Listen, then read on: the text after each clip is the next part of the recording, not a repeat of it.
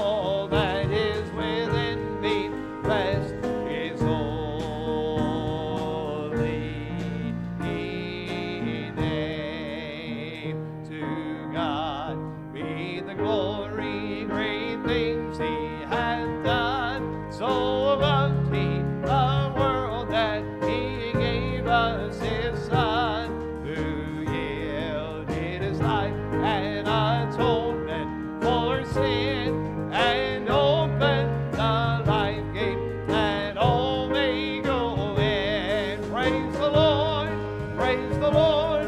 Let the earth hear his voice. Praise the Lord. Praise the Lord. Let the people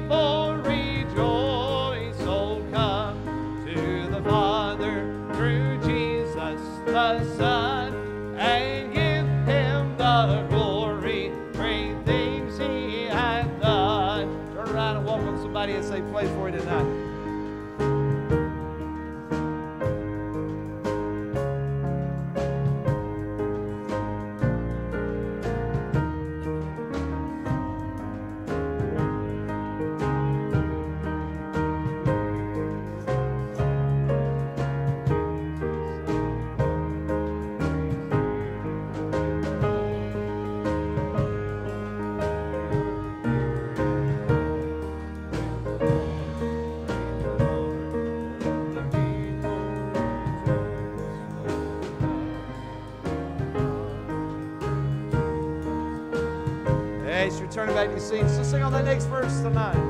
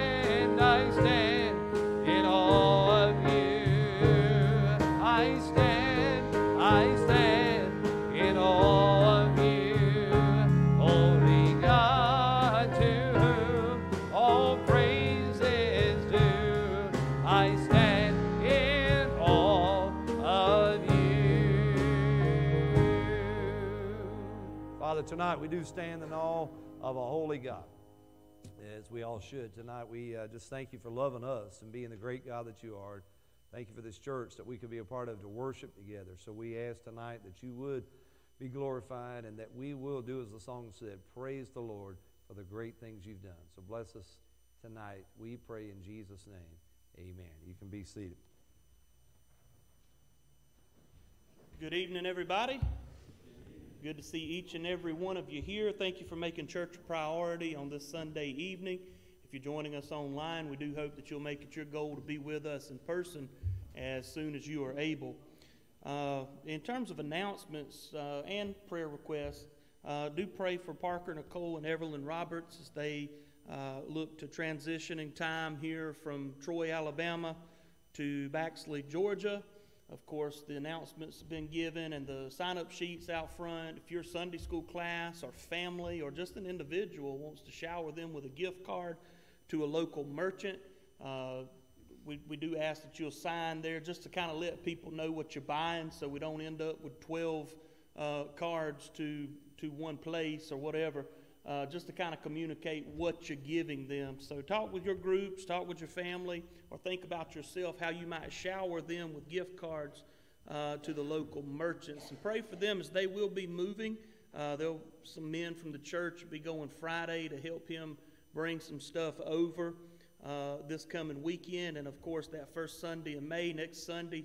Uh, we're looking forward uh, to him being with us for his first Sunday. So we want to be praying for Brother Parker and his family, as well as the seniors, as that night, uh, that Sunday night, uh, we'll have our senior recognition service, followed by a finger food fellowship, and the gift tables and everything will be set up in the gym. So make your plans to be here uh, in attendance for that.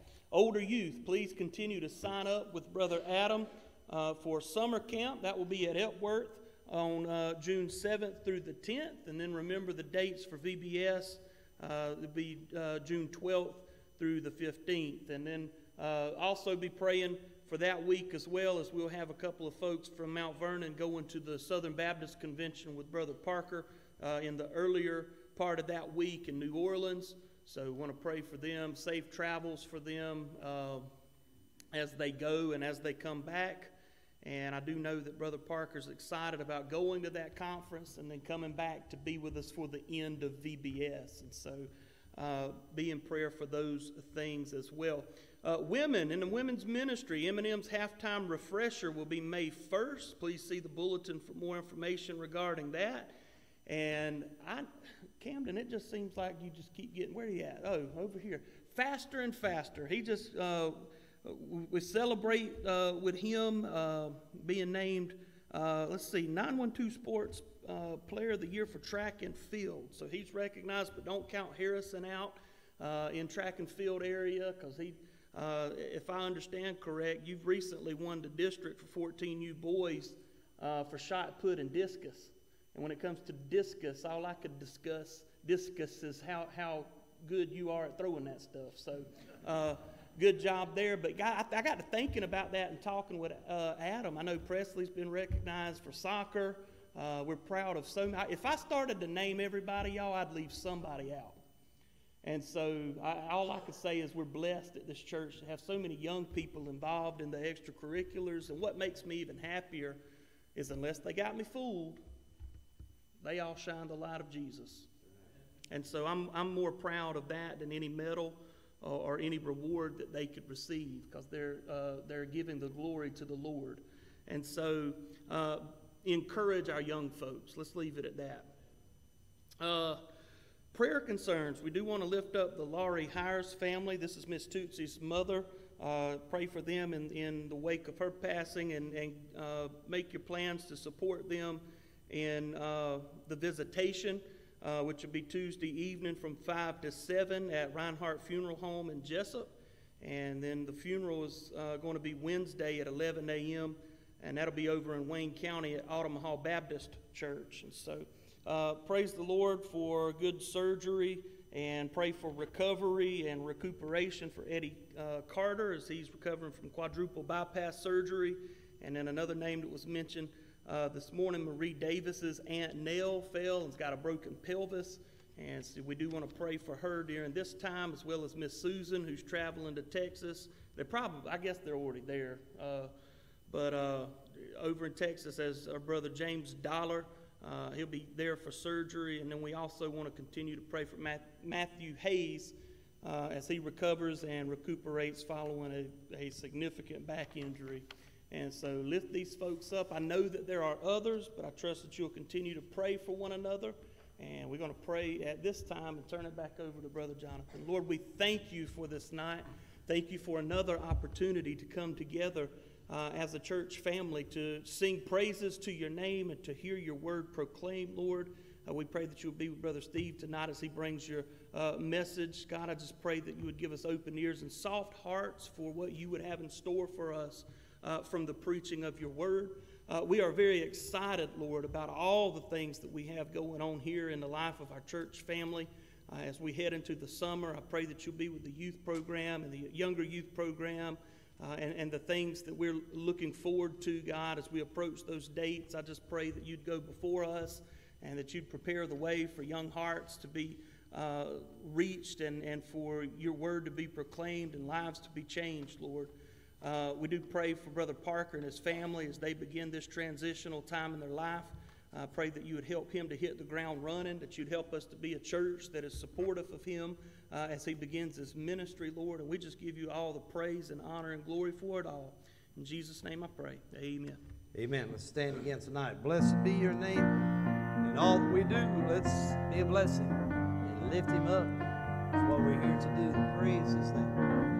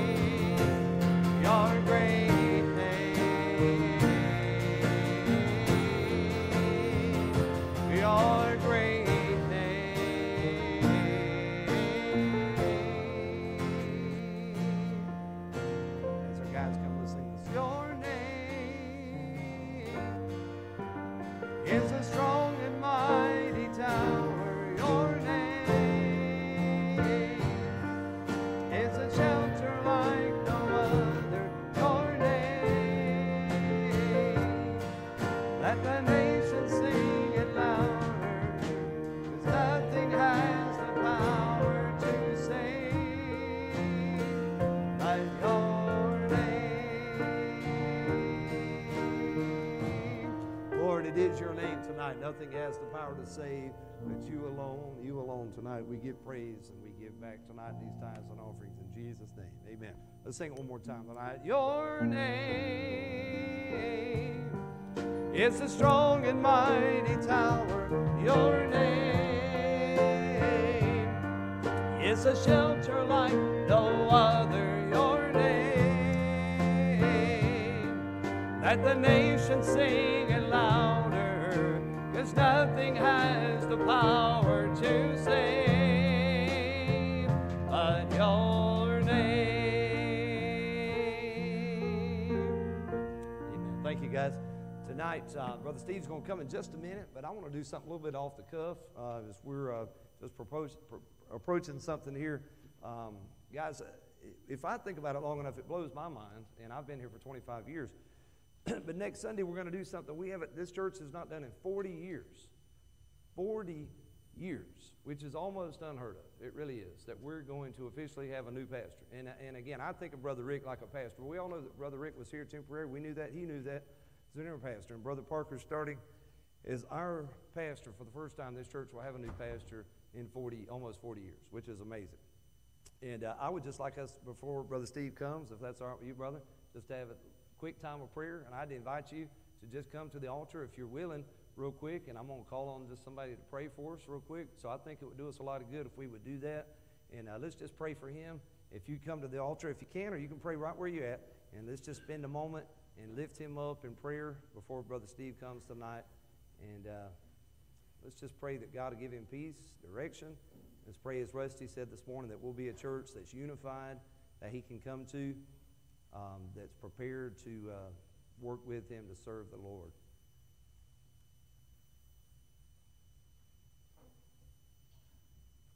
Yeah, I'm going to pray, and then uh, I, I, Cole, I'd like you to pray, and then um, Brother Stephen, would you close us after Cole prays?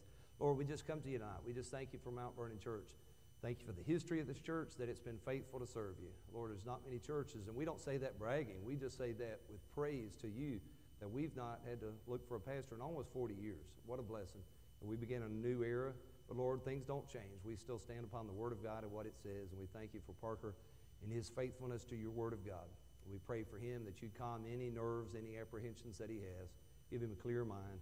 Bless him and uh, Nicole and Evelyn in a special way that they'll be blessed to be a part of this community as much as we have been. And may you use them in a mighty way to serve here at Mount Vernon Church. In Jesus' name.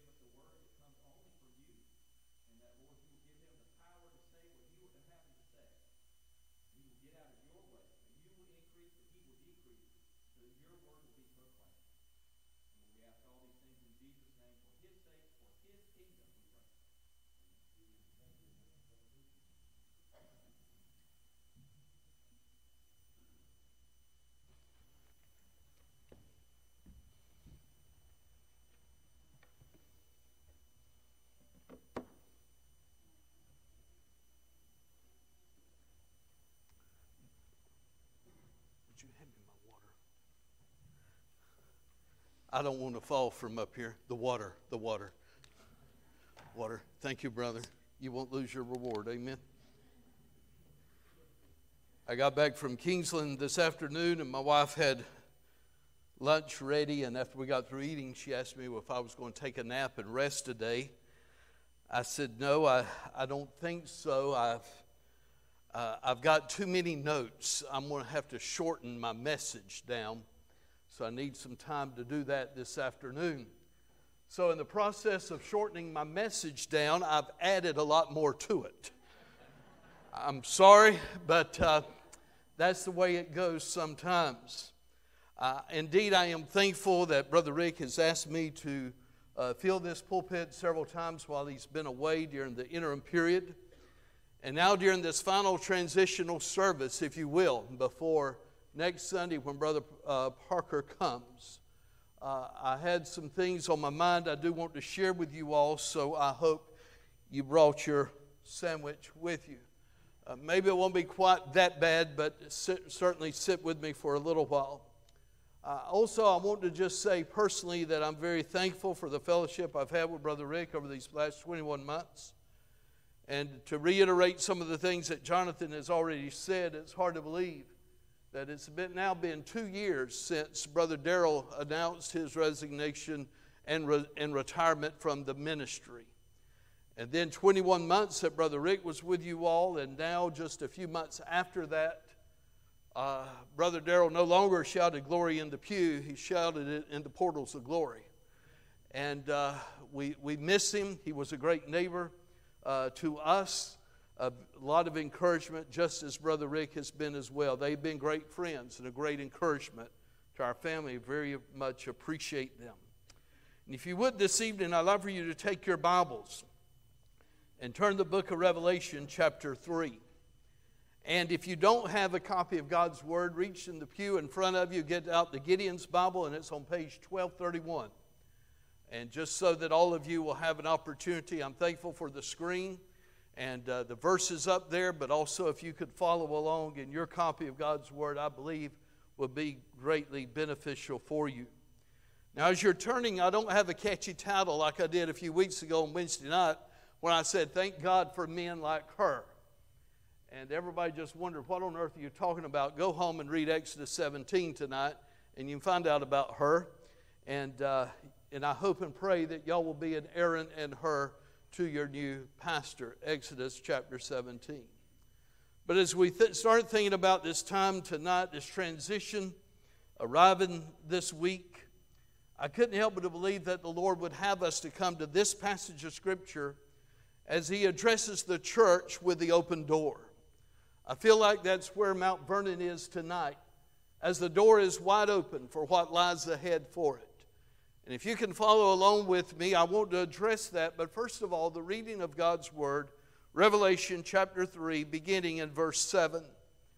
And here the Word of God says this And to the angel of the church in Philadelphia, write, These things saith he that is holy, he that is true, he that has the key of David. He that opens and no man shuts, and shuts and no man opens. I know thy works. Behold, I've set before thee an open door, and no man can shut it, for thou hast a little strength, and hast kept my word, and hast not denied my name. Behold, I will make them of the synagogue of Satan, which say they are Jews and are not, but do lie. Behold, I will make them to come and worship before thy feet, and to know that I have loved thee because thou hast kept the word of my patience.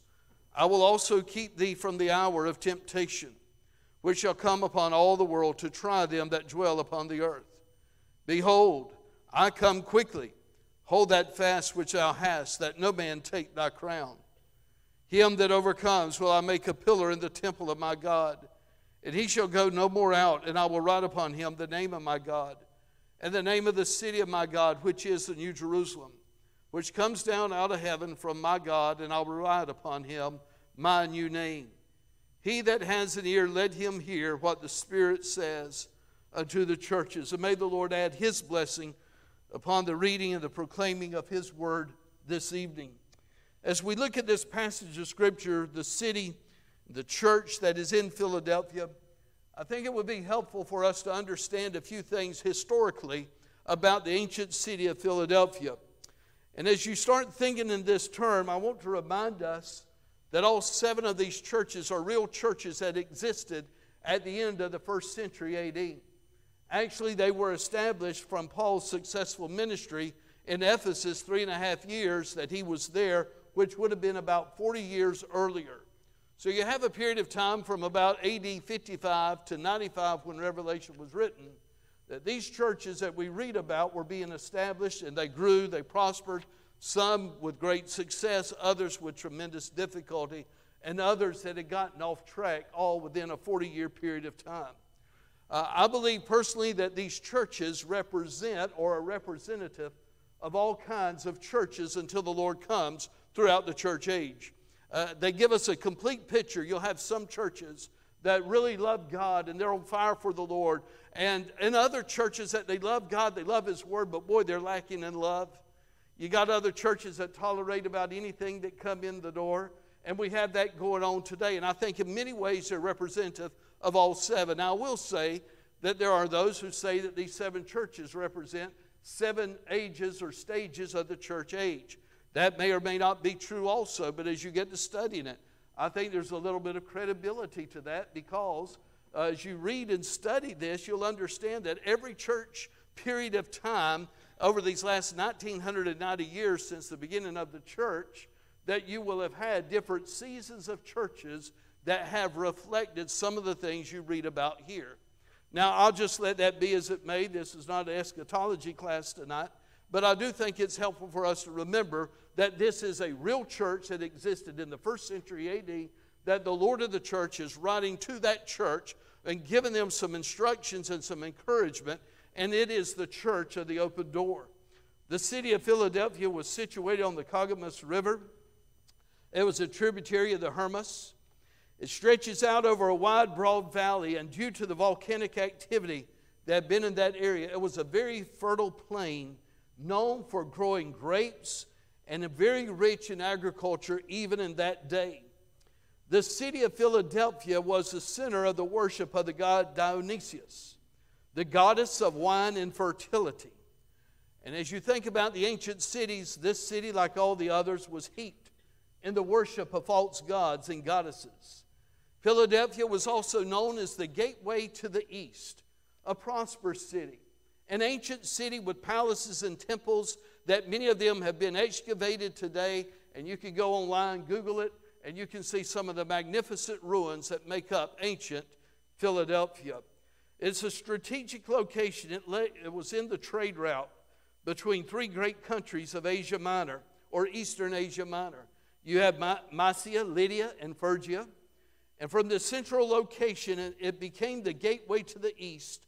And in doing so, it influenced the regions to the east of Philadelphia with the Greek culture, and it reached far and wide in its spread. So, in one sense of the word, you might think of Philadelphia as a missionary city for the Greek culture. But God had something else in mind for that city when the gospel came to Philadelphia, and we're going to read about that in just a moment. But just a few other things that you think about. Uh, Philadelphia was on the major thoroughfare from Sardis in the northwest to Laodicea in the southeast. It was founded around 189 or 140, 138 BC by Attalus II Philadelphus of Pergamon. And the name of the city reflects the great love that this man had for his brother. The name literally means lover of his brother. And one of the interesting things about Philadelphia, with its great influence and prosperity, it was also often shaken by huge earthquakes, and in AD 17, much of the city was destroyed. Many of the people moved out of the city, lived in tents, never to run, return to rebuild the city. That same earthquake destroyed either 12 or 20 other cities in the region. Today, you would, if you wanted to go to Turkey, and this might be your next trip, Brother Joffrey and Angela, is to go to ancient Turkey and to see these seven churches. If you do, take me and Marcy with y'all, and we would appreciate it. And so Philadelphia is now known as Alaşehir in Turkey. So if you need to know where it is, that's where it is. So it is a real city, and it was in the context of that city that Christ addresses this church. And I want you to look at verse 7 again, where it says these words These things saith he that is holy. As you look at this and start thinking about the Christ of the church, we've looked at the city. Now we're going to look at Christ of the church. And notice he first of all addresses himself as he that is holy. I want you to just stop a moment and let that sink in. Christ is holy. He is the Holy One of, of, of, of Israel, and he is presenting himself to the Philadelphians as a reminder that as their Savior, and I believe this is very true, as he is holy, he expects his followers to be holy also. We are to be a holy, redeemed people of God. The word holy carries the idea of being set apart or sanctified. We are set apart from the world and set apart unto Christ, our Lord and Savior. So here he stands there as the Holy One of Israel. As a matter of fact, these words are Old Testament words that give us a description and a designation of God's character uh, all in one, referring to Jesus Christ. For instance, in Leviticus chapter 11, verses 44 through 45, here the word is give, the word of the Lord is given us this. He says, For I am the Lord your God. Consecrate yourselves, therefore, and be ye holy, for I am holy. That is what God said. He wanted his people, Israel in the wilderness, to be a holy people. Why? Because he is holy. Remember, God doesn't change. He's the same yesterday, today, and forever. And Christ, who is holy, who's God incarnate, God in the flesh, gave himself for us on the cross, is reminding us that just as he is holy, he expects us as his people also to be holy, even in the world in which we live. You remember Isaiah chapter 6, where he goes there into the temple on the Lord's day, and he was moved as the door of the temple shook and the angels uh, circling the throne, they cried out, Holy, holy, holy, the Lord of hosts. The whole earth is full of the holiness, the glory of God. Jesus stands before the church, the Holy One of Israel. And again in Isaiah 40 and verse 25, God refers to himself as the Holy One. Now, as you pause and think about that for just a moment, Christ, God incarnate in the flesh, is presenting himself to the church as the Holy One of Israel. Just a couple other New Testament passages. One is in Mark 1, verses 23 through 24. I'll just give you a little bit of synopsis of what's going on here. Jesus is going about, he's preaching the gospel. He comes up on this man in the synagogue with an unclean spirit. He was demonically possessed. And when the demons saw Jesus, this is what they said What have you to do with us, Jesus of Nazareth? Have you come to destroy us? I know who you are. You are the Holy One of God. If the demons can recognize Christ as being holy, shouldn't we as God's people honor Christ as holy? And shouldn't our lives also reflect the holiness of God in our lives? as much as possible. In other words, Jesus didn't save us to keep living in sin. He saved us to be set apart unto our Savior, and just as He is holy, we too are to be holy people of God. And that's what Peter said in 1 Peter 1, verses 15 through 16. This is what the word of the Lord says. But as He who has called you is holy, so be ye holy in all manner of conversation, because it is written, be ye holy, for I am holy. Dear friends, that means as God's people, as a believer in Christ, saved by His grace and mercy, positionally, we are the holy people of God. But practically, we need to follow that through in our daily lives as being holy, separated unto God. Does that mean we'll never sin? No, we, we will. We, you know, you probably will might get mad at your spouse and tell them a thing or two. You might cut somebody off on the highway. You might even have a bad thought that came out of nowhere. We are battling sin every day, but the child of God should always have this disposition that if there's one thing in my life, I want to reflect the glory and the holiness of God in my life because I identify with Jesus Christ as my Lord and Savior. And as He is holy, I'm going to do everything in my life to be holy too. That comes with attitude as well as action. Some people are convinced that they're holy because they don't do anything outwardly sinful, but inwardly. We studied Matthew 23 this morning, Sunday school. And what did Jesus say in Matthew 23 to the Pharisees, the hypocrites? And he said, You're full of dead men's bones. You want the outside to look good and clean, but inside you're full of wickedness and lies and deceit.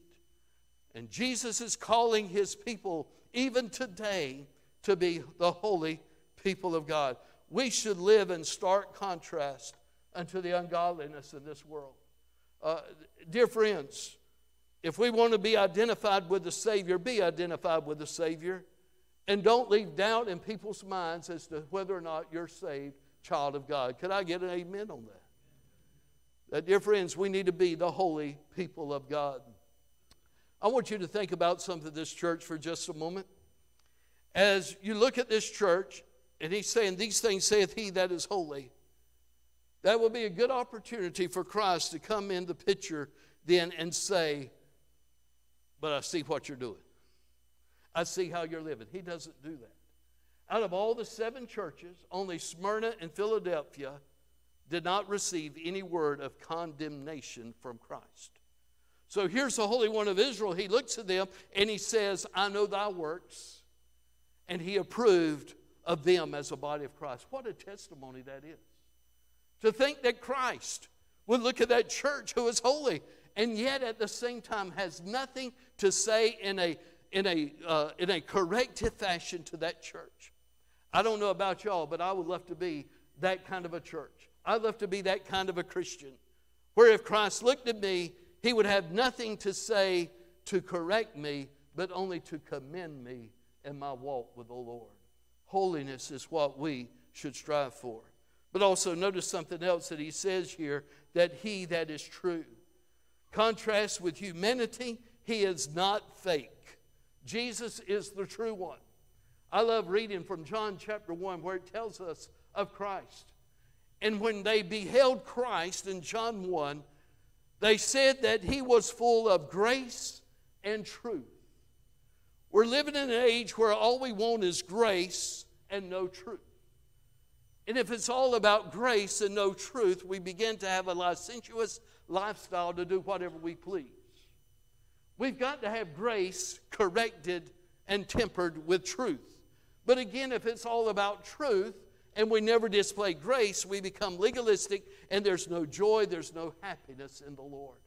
Jesus was the perfect embodiment of both grace and truth. He was the Holy One. And so when you think about this, he was not fake, he was the true deal. Holy and true is Jesus. But also notice something else here in verse 7 that he has the key of David he has the key of David.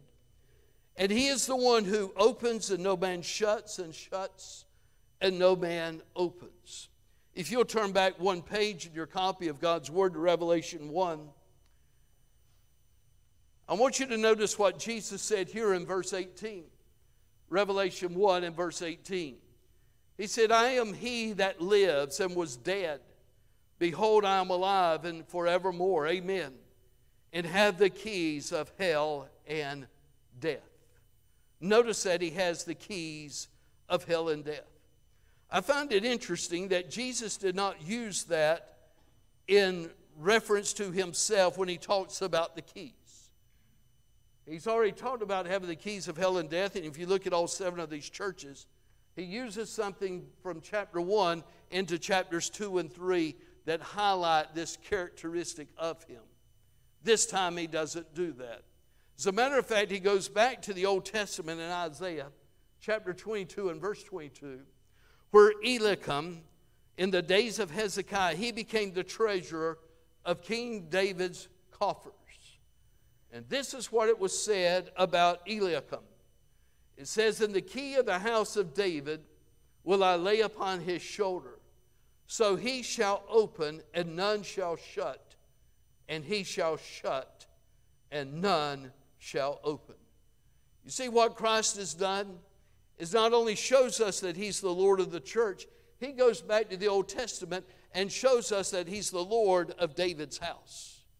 Perhaps This is in stark contrast to verse 9, where Jesus refers to the synagogue. The synagogues were where the Jews worshiped, and they were the gatekeepers of the things of Israel, and in this case, the house of David.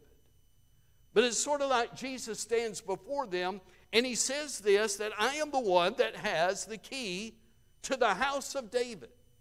You've ran the Christians out from the synagogue because you've said they're not Jews, but I've got news for you. I've got the key to the house of David.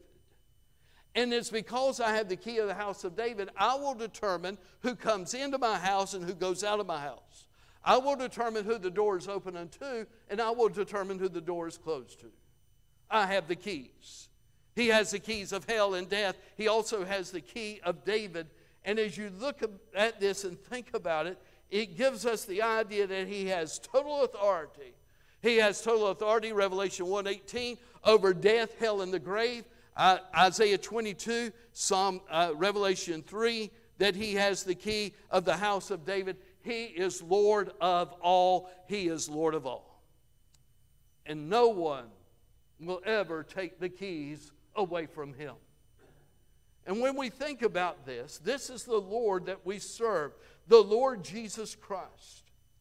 And again, apparently the Jews had closed the door, but he wanted to make it clear that he not only was the door, he opens the door, he's got the key to do so. And now he addresses the church then in verse, beginning in verse 8. Notice what he says I know thy works. Just ponder that for a moment. Christ saw the works of the Sardis church. They had a name that they were alive. And Jesus said that they were dead. As a matter of fact, they didn't even know they were dead. They were a dead church. They were going through all the motions. They, they were doing all these things, but yet when Christ looked at them, he saw that their works were not perfect before God. But then when we look here at the church at Philadelphia, he says, I know thy works. And because of your faithfulness, and I know your works, I have now set before you an open door. No man can shut it. Thou hast a little strength. You've kept my word and have not denied my name. When we think about this and we see the church at Philadelphia, these churches, as well as Smyrna, were a lot of pressure and persecution from the community in which they were. As a matter of fact, if you'll turn back again one page to Revelation 2 for just a moment, notice what Jesus said here in Revelation 2 in regards to Smyrna. And this is what he said to them in verse 9 I know thy works, tribulation, poverty, but thou art rich. And I know the blasphemy of them which say they are Jews and are not, but are the synagogue of Satan. You notice in both of these, when Jesus referred to the Jews in the city where the Christians were being persecuted, he referred to the synagogue as the house of Satan. They were false, they were not the true representative of Israel. And he said, they are of the synagogue of Satan. Aren't you glad Jesus didn't read How to Win Friends and Influence People? Uh, you, you, he missed that chapter, amen. He told it like it was that they were of the house and the synagogue of Satan. I find it interesting, and you think about this, that in both of these churches, that Christ did not have any words of correction for were also the churches that were being persecuted. I think there's something to be said about that. I've heard it said years past that the church always thrives under persecution, but it fails prosperity every time. As a matter of fact, in Laodicea, when you get there, and we're not going to, uh, trust me, we won't get into Laodicea tonight, I promise. But when you look at Laodicea, they had everything that they needed. They were wealthy. They had medicine. They had everything that they needed. And yet, Christ said that you don't even know that you're blind and naked. They had some of the best wool there could have been. They had eye salve to help to anoint eyes to keep, prevent blindness. They had everything that they needed, but the one thing they needed, and that was Christ on the inside of the church with them. Instead, they had shut the door and he's knocking at the door to get in. Here, Christ is saying to them, I know your works, and because of your works, because of your faithfulness, I've set before you an open door. An open door that is now before you that no one will shut, no one um, uh, that no one will shut.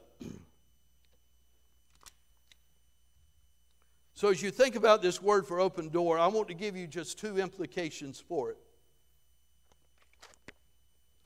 One I think is perhaps and it, there, there are strong support for both of these opinions that this refers an open door into heaven. In other words, the Jews have kicked them out of the synagogue. They're called the, the synagogue of Satan. So now Christ is opening to them the door into the kingdom of God. The other has often been used as ministry, missions, and outreach. I think both of those are very well implied and intended in this passage of Scripture. Like I've already said, the city of Philadelphia was the gateway to the east.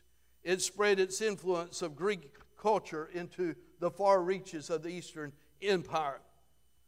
And as you think about what all is taking place here, that this was a motif that Paul often used in his life and ministry. I've got four that I wanted to read, but I'm going to shorten those out a little bit to, as, as I go through it. But you'll find Paul saying this several times in the book of Acts how Christ had shut the door. He couldn't go into Asia to preach the gospel. He couldn't go into Bithynia or Lystra to preach the gospel. He goes down to Troas. There he has a vision. And later he said that what happened then, that God had opened the door to take the gospel into Troas, southern Europe today, Macedonia. Why?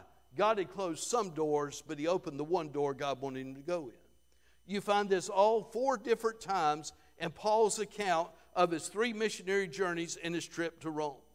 Colossians chapter 4 and verse 3 is something that Paul encouraged the church at Colossae to do, and this is what he said Pray for us that God would open us a door of utterance to speak the mystery of Christ, for which also I'm in bonds.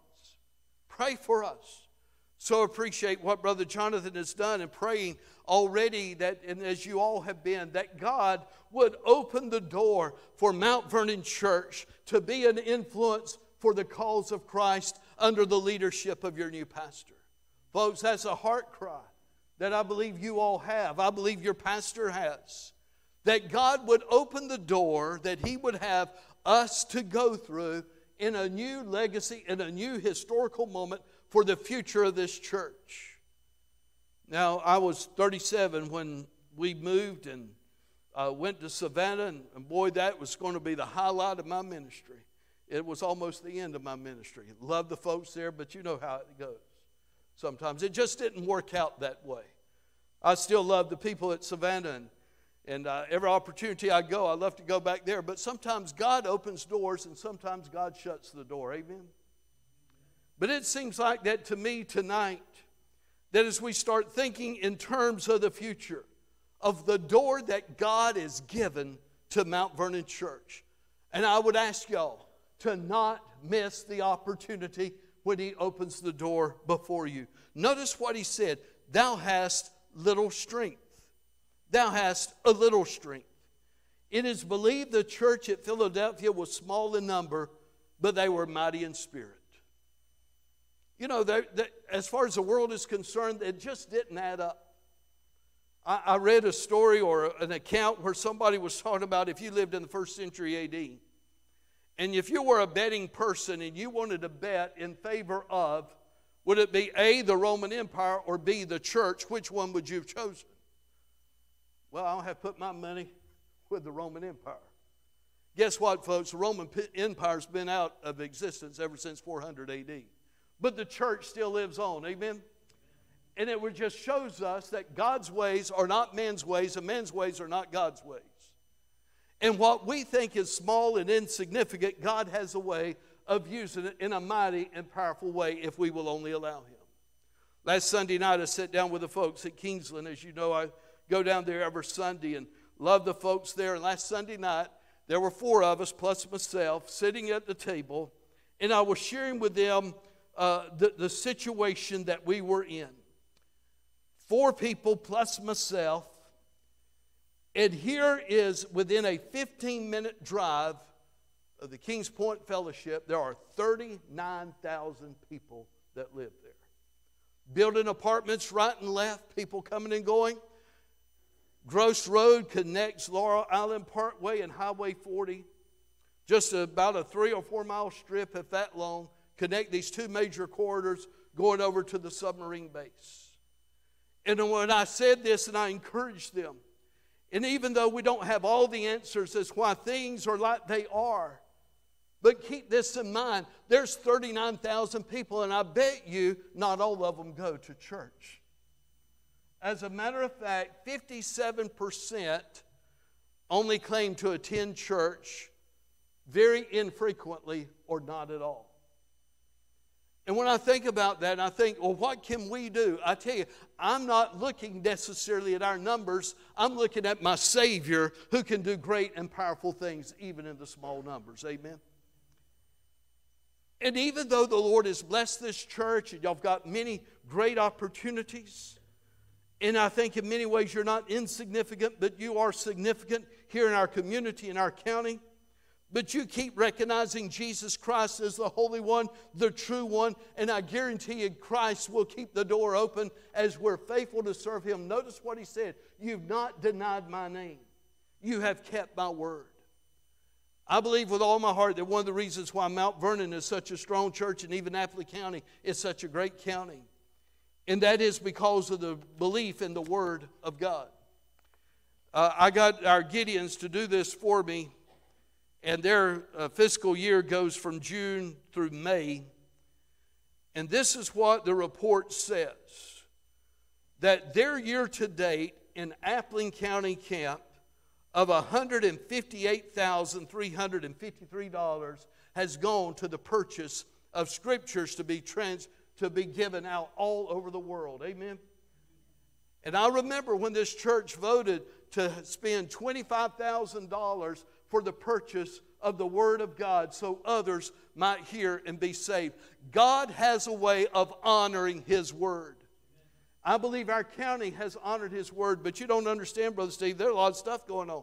Amen. But guess what? The church doors are still open. Amen. There's still an open door. There's still an opportunity for God to get His Word out. Notice what He said You have a little strength. You've kept my word. You've not denied my name. And because of that, I've set before you an open door. And if you'll notice here, Jesus often, after this commendation uh, of them, he usually gives his condemnation. But there's no call to repentance here. He, this is just what he says.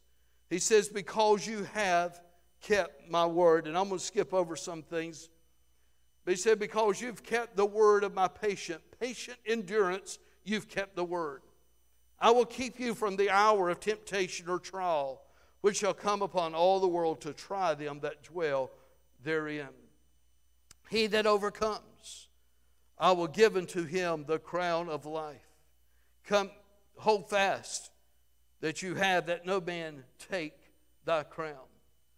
Uh, I love that word crown. It's the Greek word Stephanos. If you wonder where the name Stephen comes from, right here the victor's crown. Amen, Stephen? Great first name. Uh, I love it. The victor's crown. And this is what Christ is saying.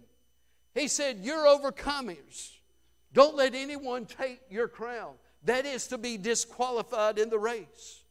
I looked up online and checked it out. I was going to use it as an illustration. But do you realize there are a lot of gold medal winners in the Olympics that had their gold medal taken away? Why? Because they did not run the race legally and lawfully according to the rules. And their gold was taken away. Jesus says here, You hold fast what you have. No one takes your crown. Dear friends, keep on keeping on for the name of the Lord Jesus. And he promises because you have been faithful to keep my word, you've faithfully endured, I will keep you from the hour of temptation which will come upon the whole world to try them that dwell upon the earth. He promises that these who say they're Jews and not, but are not, they'll come and they'll worship at your feet. He promises to come quickly, and he promises to give them a place of prominence in that new city, New Jerusalem. Notice what it says, verse 12. Him that overcomes, I will make a pillar in the temple of my God. He shall go no more out, and I will write upon him the name of my God and the name of the city of my God, which is the New Jerusalem, which comes down out of heaven from my God, and I will write upon him my new name. He that has an ear, let him hear what the Spirit says unto the churches. He has promised that he will write their name in the temple of his God. One of the interesting things about the ancient city of Philadelphia, we do it a lot even in our day. Someone does something of note and recognition, they, they might have a memorial put there in the city square, or they would have their name written on the cornerstone of a building because of a great donation maybe they had made to the erection of that building. In, in this day, in the day of the Philadelphian church, if someone in the city did something great, they would write their name on the pillars of the temples dedicated to the false gods. But you know, when the earthquake hit and those temples collapsed, so their names did also. But he promises to write their name in the temple of his God, which never fails and will never fade away. It will not fall. It is a place of permanence, it is a place of prominence where he will write their new name, and not only their name in the temple, but God's name on them. Folks, that's a pretty good deal to me. And he wants us to be faithful. He's given us the open door to go forward for the cause of Jesus Christ. Now, as I get ready to close this up, and, and I just want to share a few other things with you, if you can bear with me for just a moment. Go back to verse 1 for just a minute. I'm sorry, verse 10. And notice at the end of that phrase that he, I will keep thee from the hour of temptation which shall come upon all the world to try them that dwell upon the earth. You know, when you think about it, the door is still open today. And I want to highlight, first of all, that door of salvation is still open. Aren't you thankful? To know that the Lord of the church still has the doorway of salvation open to all who will come upon him, call upon him. Now, when I think about this, this phrase, those which dwell upon the earth, is a phrase that is used often throughout the book of Revelation. And many times you'll find it, the newer translations translated earth dwellers. It carries with it the idea that their life is all about this earth, this life only. They have no regard for God, they have no regard for heaven, they have no regard for their Savior. And so they live for this world and this world only. Earth dwellers.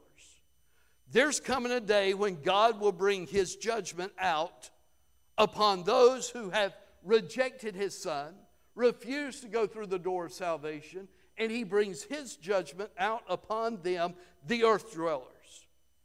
And I think this is a good place to just ask ourselves a question. First of all, have I ever been through the door of salvation? Jesus said, I am the door to the sheepfold.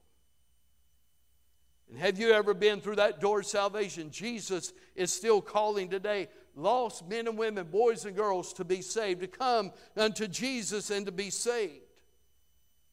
John wrote in 1 John chapter 2 this world is passing away and the lust thereof, but he that does the will of God abides forever.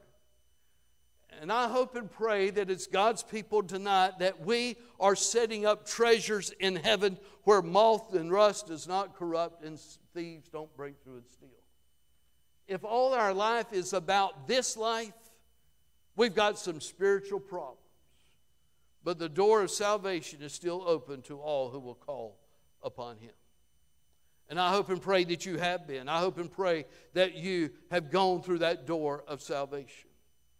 And I want to just make a couple of other, a few other personal observations. I jotted this down to just kind of help me to get through it.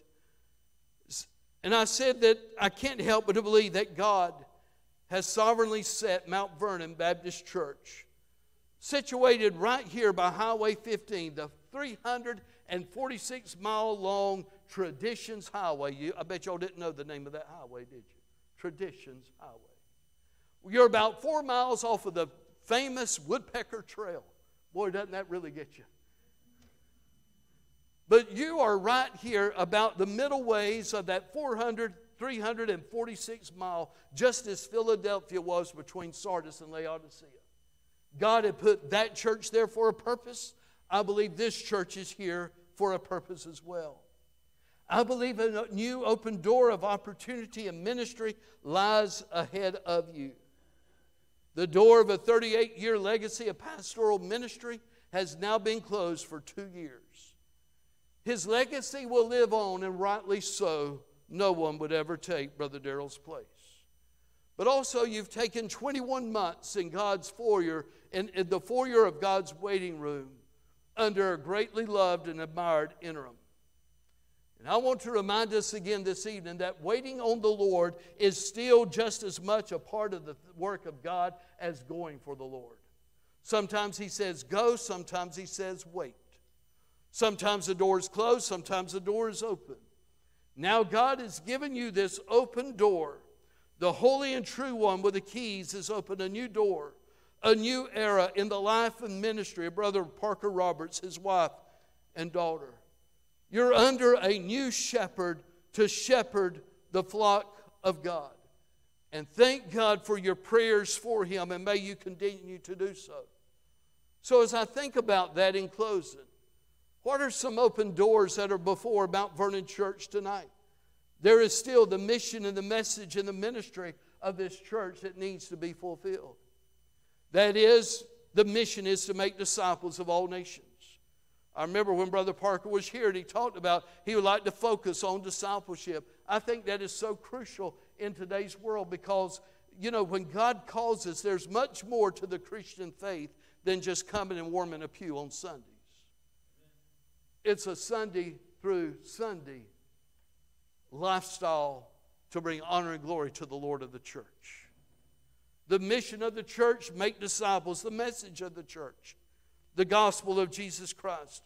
The ministry of the church is still before us. Where you accomplish the mission of the church in making disciples, we do it through the ministry that God calls us to do.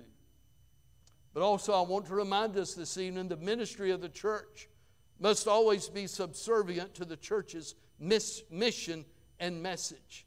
If you ever get those two turned around, where the mission begins to, uh, where the ministry begins to drive the mission and the message, it will weaken the message and you fail to make disciples. Good case in point. When the Salvation Army began many, many years ago, it was a very bastion of the gospel message. But throughout the years, through its ministries, little by little, it's gotten off key where the message and the, and the, the, the mission of making disciples is not as important as the ministry of what they're doing. We always have to keep the Word of God first. Notice what Jesus said You've not denied my word, you've kept my name. I think there's open door a family ministry. We've got nurses, nursery ministry, children's ministry, youth ministry, adult ministry, women's ministry, men's ministry. And I would just challenge us even this evening as I think about next Sunday night. You're going to be celebrating 10 graduates from this church. Already you've got some young adults in their 20s, but I would ask us, you know, what do we do to minister to those who graduate from high school? Do we have to wait till they get married, have children, then come back? I think there's, the door is wide open for all kinds of ministries to effectively carry out the mission of making disciples at Mount Vernon. And it's sort of like God has said, here's the door now, go for it. And I hope and pray that you will. I, I tell you, I'm, I, i am excited for him, and I'm not even coming to be the pastor. Uh, it's just exciting to me to think of what God can do in any church that is committed to the cause of Jesus Christ, honoring the Word of God and honoring the Lord of the church, and praying for the success of the gospel of what God can do. Amen.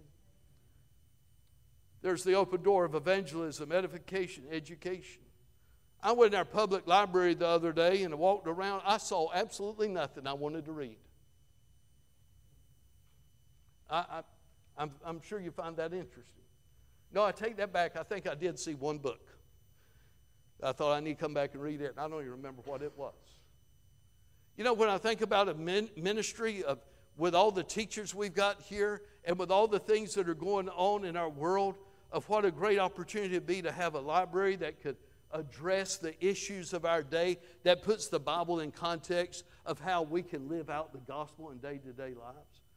Folks, there's just all kind of things. I, I, don't know if Brother Parker's watching. Sorry, maybe this was his message next week. Maybe he can preach it again. But there's all kind of opportunities out there for a church committed to the things of God. You know, let's be like the Red Sea that marches through on dry ground.